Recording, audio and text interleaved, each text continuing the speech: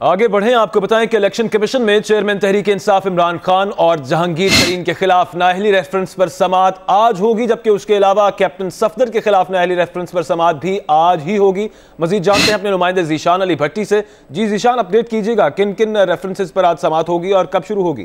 جی سبھی بالکل آج الیکشن کمیشن میں چیئرمین تحریک انصاف عمران خان اور جہانگیر ترین کے خلاف نائلی ریفرنس پر سماعت ہوگی۔ اسپیکر ریاض صادق کی جانب سے یہ ریفرنس وہ الیکشن کمیشن میں بھجوائے گئے تھے۔ اس کے علاوہ کیپٹن سفدر کی نااہلی پر ریفرنس ہے وہ بھی سماعت ہوگی۔ پی ٹی آئی کے رہنما نوابزادہ صلاح الدین ہے جنہوں نے کیپٹن صفدر کے خلاف ریفرنس دائر کر رکھا ہے۔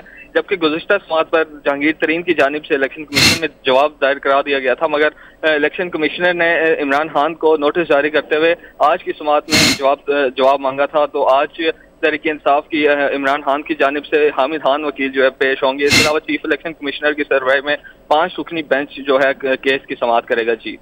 پانچ رکنی بینچ کیس کی سماعت کرے گا۔ شکریہ عزیشان علی بھٹی۔